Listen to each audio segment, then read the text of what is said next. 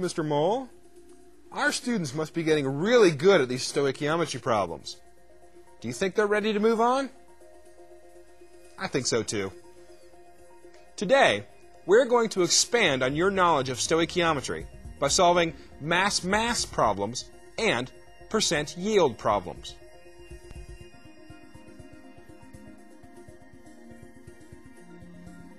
In this lesson, you will solve mass-mass stoichiometry problems, define actual yield, theoretical yield, and percent yield, and solve percent yield problems.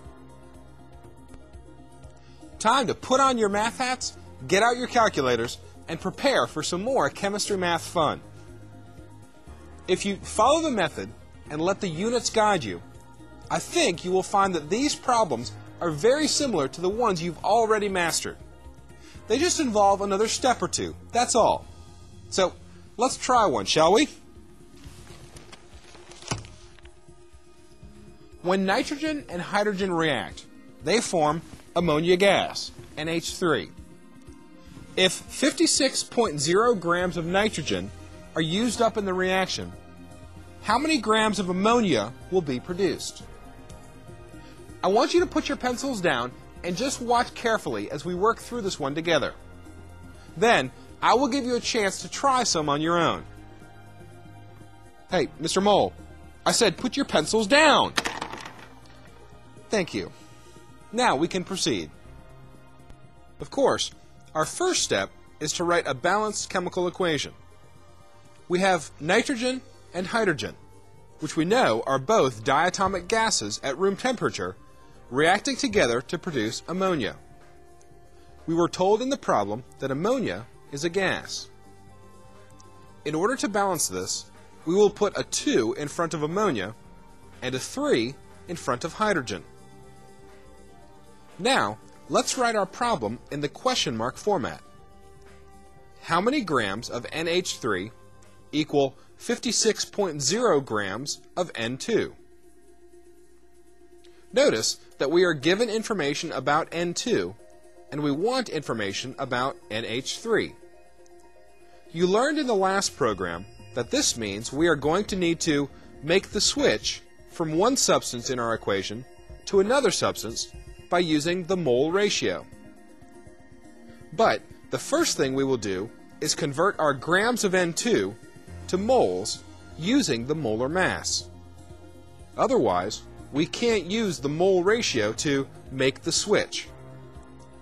Since the molar mass of N2 is 28.0 grams per mole, we convert from grams of N2 to moles of N2 by putting 28.0 grams of N2 on the bottom and 1 mole of N2 on the top of the conversion factor. The grams of N2 cancel. Now that we have moles of N2, we are ready to use the mole ratio from the balanced equation to make the switch from moles of N2 to moles of NH3. There is no coefficient in front of N2. That means we have 1 mole of N2 for every 2 moles of NH3. So that the correct units cancel, we put 1 mole of N2 on the bottom and 2 moles of NH3 on the top of the mole ratio. The moles of N2 cancel, leaving us with moles of NH3. We've made the switch. This is where we stopped with our problems in the last program. But look at our question mark. This equation didn't ask for moles of ammonia, it asked for grams of ammonia. But that's not really a problem, is it? We know how to convert from moles of NH3 to grams of NH3 by simply using the molar mass as a conversion factor. The molar mass of nitrogen is 14.0 grams per mole, and the molar mass of hydrogen is 1.0 grams per mole. Don't forget that we have three hydrogens in our formula. That means that the molar mass of NH3 is 17.0 grams per mole. So, we put 1 mole of NH3 on the bottom of our conversion factor, and 17.0 grams of NH3 on the top of the conversion factor. Our moles of NH3 cancel. We are left with grams of NH3, which is exactly what we're looking for. We multiply 56.0 times 2 times 17.0, and then we divide by 28.0 to get 68.0 grams of ammonia. You can see that this is just a slight variation on what we did in our last program. Again, Mr. Mole and I stress to you that you should not try to memorize how to solve these problems. You just want to go one step at a time, using conversion factors until you have solved each problem. Now, I know what you are thinking. Ah, he's a teacher. Of course, he makes it look easy. Believe me, you can do this too. Here's one for you to try. Sodium metal reacts with oxygen gas to produce solid sodium oxide. How many grams of sodium must react to produce 42.0 grams of sodium oxide? Local teachers, please pause the tape while your students solve this problem.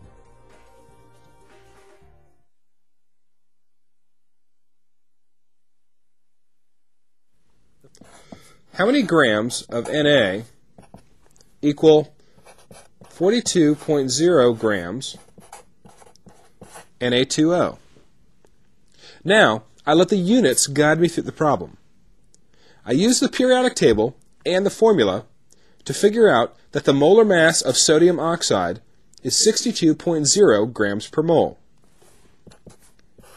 I put 62.0 grams sodium oxide on the bottom and 1 mole sodium oxide on the top. The grams of sodium oxide cancel. Now that I have moles, I can use the mole ratio from my balanced chemical equation to make the switch.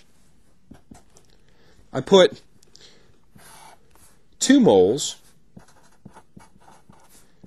of Na2O on the bottom, which will cancel, and 4 moles of Na on the top. Since the problem asked for grams, I know I'm not quite finished yet. The molar mass of sodium is 23.0 grams per mole. In order for the units to cancel, I need to put 1 mole of sodium on the bottom, which means I need to put 23.0 grams of sodium on the top. All that is left to do is to multiply 42.0 times 4 times 23.0 divided by 62.0 divided by 2. This gives me 31.2 grams of sodium. Very good. Let's try one more, and then we will expand our knowledge a little more.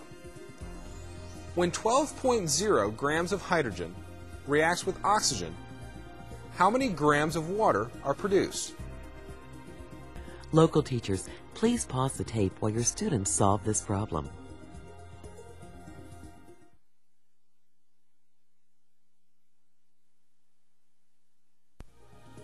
You should be starting to get the hang of this. Uh, notice I said starting to. You'll practice a lot more before you are expected to solve problems like a pro. Now, let's think for a minute about how these problems relate to a lab setting. After all, chemistry is all about experiments. When chemists are working in the real world, they can use stoichiometry problems to predict how much product will be formed from a certain reaction. However, our experience tells us that any experiment will have a certain amount of experimental error. Because of this, chemists will compare actual yield with theoretical yield to come up with a percent yield. And the higher this number is, the better. What's that? Oh, you're right, Mr. Mole. I did just throw a lot of terms out there, didn't I? I guess our students better put these into their notes. In a given chemical reaction, the actual yield is determined through experimentation. The actual yield is the amount of product that is actually produced when the reaction is carried out in a lab setting.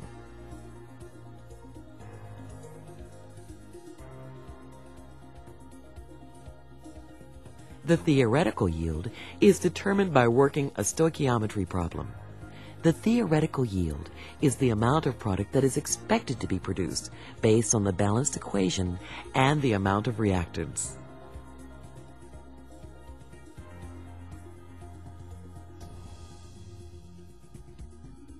The percent yield is found by dividing the actual yield by the theoretical yield and then multiplying by 100%.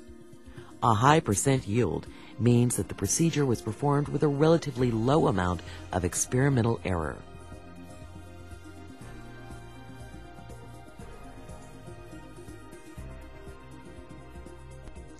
Hmm.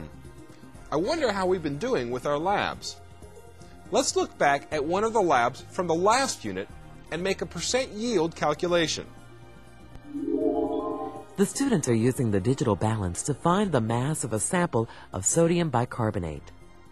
The students tare the balance with the massing cup before adding the sample.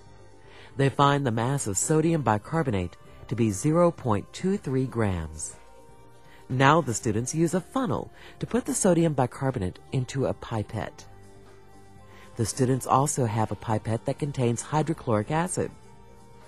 The students put both pipettes into a beaker and find the mass to be 5.98 grams. This is the mass before the reaction takes place.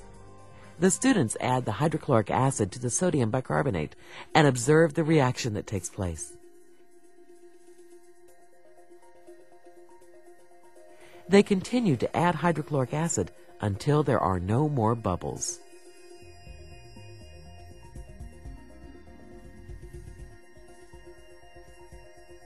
Now that the reaction is complete, the students put both pipettes back in the same beaker and mass again.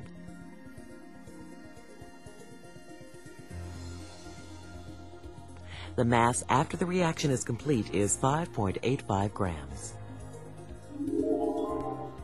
Our task is going to be to calculate the percent yield of carbon dioxide from this experiment performed by my students. This means that we need two pieces of information the actual yield, and the theoretical yield. The first thing we need to do is take a look at the balanced equation. Sodium bicarbonate reacts with hydrochloric acid to produce sodium chloride, carbon dioxide, and water. We figured out before that the substance bubbling away in the lab is carbon dioxide. We can look at our data to figure out the actual yield of carbon dioxide. The mass before the reaction was 5.98 grams. And the mass after the reaction was 5.85 grams. We can subtract to find the amount of carbon dioxide that bubbled away. This amount is 0.13 grams. This is the actual yield.